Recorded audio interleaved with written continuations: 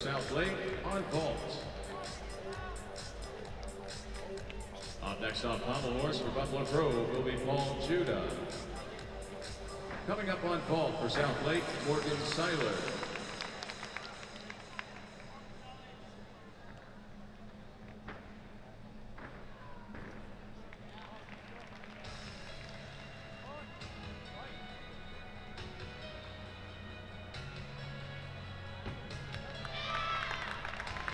Michael Fletcher of New England on rings.